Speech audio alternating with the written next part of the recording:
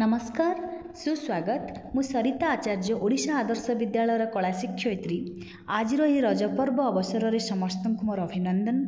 ମୁଁ ଆଶା କରୁଛି ଲକଡାଉନରେ ଘରେ ବସି ଏହି ଛବିକୁ ଭଲ ପାଉଥିବା ଏବଂ ଶିକ୍ଷା ନେବା ଇଚ୍ଛୁକ ପିଲାମାନେ ଏହି ଛବିକୁ ନିଶ୍ଚୟ ପ୍ରସ୍ତୁତ କରିବେ।